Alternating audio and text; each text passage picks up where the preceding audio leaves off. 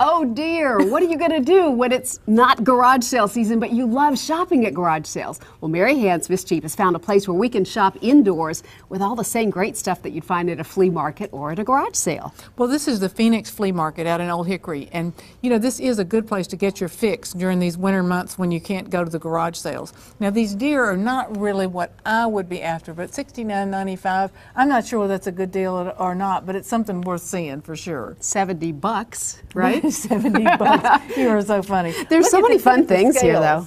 These scales for 125. Now, I'm probably not going to buy those, but that's really fun to see that. Yeah, that's what we really enjoy about a place like this is there's so much nostalgia here. Take a look at this. Who remembers the kind of rotating Christmas lights? That goes with the aluminum tree. Yeah. You know, it's seventy-four ninety-five. I mean, that's a bargain at any price.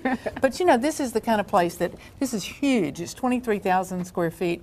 Uh, there's there's 63 different uh, vendors who have booths in here, so they're all different kinds of things. And this time of year, almost every one of the booths has a has a sale going on with 20% off, or even 50 or 75% off, because they say they're getting ready for the spring when they have to really compete with the yard sales.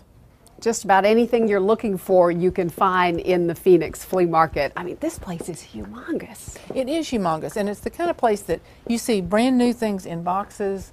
Um, you see really old things that might have a little rust or dirt on them. Um, you see glassware. You know, they say that a lot of the things that people used to collect, um, like some of the glassware and dolls and things like uh, silver plate, are, are really hard to uh, sell these days. That they're not as much in demand. But there's plenty of things that are in demand. I mean, I just you, you can walk through here and it you got to take your time because there are shelves and you got to look up and down. There's all kind of stuff. If you look through the hundreds of booths, you'll see lots of interesting antiques. This one still has the paper in it and this beautiful lane chest here. Well, it's $159, but it had, it was 189 before, and it's cedar. You know, that's something that you know it, it keeps things really nice, and it has a little damage to it here on the top, but. You could clean that you up. You could probably clean that up, but it really is pretty. I like that. We've seen And some nice furniture pieces around too. I mean, dressers for $75 and Right, and you know, this upholstered furniture is not what you're going to find here, but some of the antiques, I thought some of the prices were great. So some of the trendier things that people are collecting these days you can find here, like milk glass. Apparently that's making a comeback. Well, they're using it for weddings, is what we're told. Mm-hmm. Um, but the jewelry does well too, and they've got fishing lures. You know, this is not just for women shoppers. There's some men shoppers too, and the fishing lures. There was new ones, and there were some that seemed to be vintage.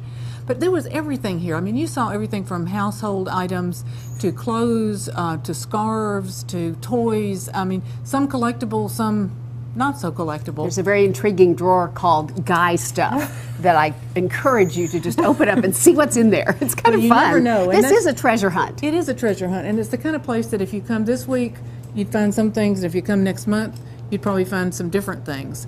I, I think this is really fun. And if you find a treasure you want to take home, you may want to try to bargain a little bit.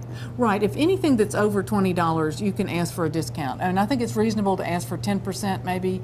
Um, you know, they can always say no. There's some some of their vendors probably do not do that, but I think in general, ten percent off, you would be okay to ask that and probably get it. Never hurts to ask. Okay, so if we want to come shopping at the Phoenix Flea Market, where do we go? All right, it's on Old Hickory Boulevard. It's called Robinson Road at this point, but it is Old Hickory Boulevard in Old Hickory. Um, it's open seven days a week. Uh, th- this is good shopping for that fix while we can't get to the yard sales. All right, we're going to come out and shop out here. It sounds like a really fun place. I think we need a little more time, don't you? I do too. Let's do it. You got to spend some time in here. All right, Mary, thanks a lot. Thanks. Stay cheap.